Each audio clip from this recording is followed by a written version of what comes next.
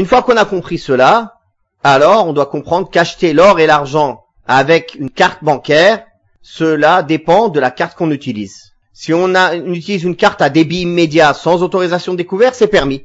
Car l'écriture bancaire prend la place de taqabud, prend la place de recevoir l'argent. C'est comme s'il l'avait reçu dans sa main. Dès qu'on a payé avec la carte, on reçoit une notification comme quoi ça a été débité, et lui il reçoit la notification et le reçu comme quoi il a été crédité. Et il nous donne l'or ou l'argent à la place. Donc c'est comme si on lui avait donné euh, main à main des billets contre l'or. Il n'y a pas de souci, inshallah, en cela.